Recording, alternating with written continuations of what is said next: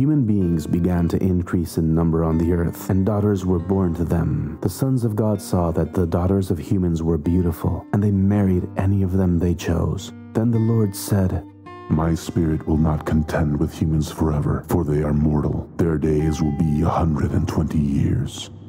The Nephilim were on the earth in those days, and also afterward, when the sons of God went to the daughters of humans and had children by them. They were the heroes of old, men of renown. The Lord saw how great the wickedness of the human race had become on the earth, and that every inclination of the thoughts of the human heart was only evil all the time.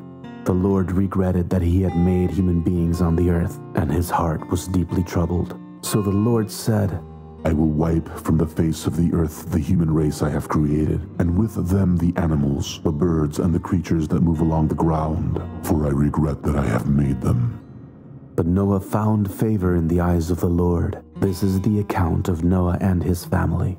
Noah was a righteous man, blameless among the people of his time, and he walked faithfully with God.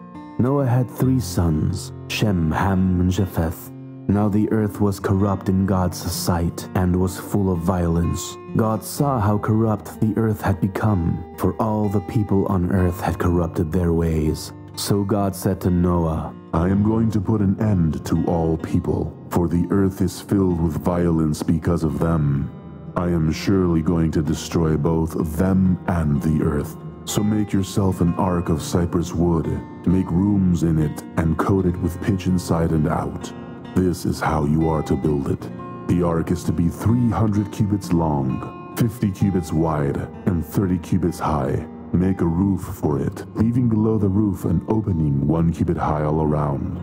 Put a door on the side of the ark and make lower, middle, and upper decks.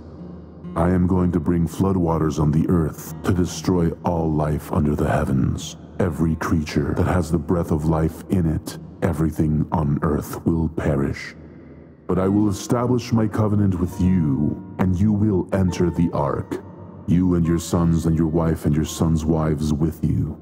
You are to bring into the ark two of all living creatures, male and female, to keep them alive with you, two of every kind of bird, of every kind of animal, and of every kind of creature that moves along the ground will come to you to be kept alive. You are to take every kind of food that is to be eaten, and store it away as food for you and for them. Noah did everything just as God commanded him.